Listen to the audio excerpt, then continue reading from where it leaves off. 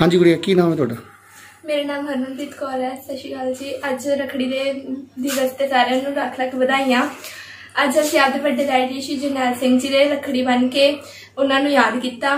ਸਾਡੇ ਭੂਆ ਜੀ ਹਮੇਸ਼ਾ ਆਉਂਦੇ ਆ ਅੱਜ ਇਸ ਵਾਰੀ ਕੋਵਿਡ-19 ਦੇ ਦੌਰਾਨ ਉਹ ਨਹੀਂ ਆ ਪਾਏ ਲੋਕਡਾਊਨ ਕਰਕੇ।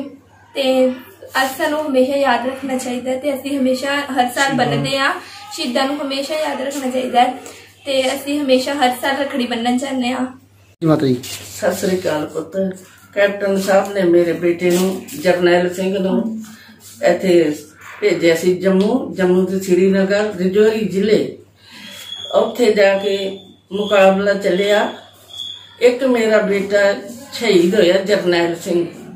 ਸਾਰੇ 35 ਬੰਦੇ ਵਿੱਚੋਂ ਇੱਕ ਜਰਨੈਲ ਸ਼ਹੀਦ ਹੋਇਆ, ਦੂਜੇ ਸਾਰੇ ਛਾਪੜ ਗਏ 3000 ਬੰਦਾ ਭੇਜਿਆ ਸੀ।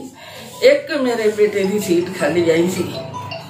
ਸਾਰੇ ਸਹੀ ਸਲਾਮਤ ਆਏ ਸੀ ਤੇ ਉਹ ਦੁੱਖ ਮੇਰੇ ਤੋਂ ਪੁੱਤ ਦਾ ਜਰਿਆ ਨਹੀਂ ਜਾਂਦਾ।